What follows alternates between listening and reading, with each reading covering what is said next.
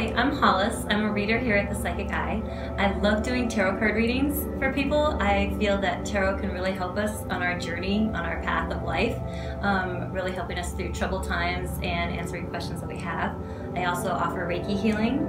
Um, so whenever you're ready, just come on down or call us and talk to me and we'll work through your path.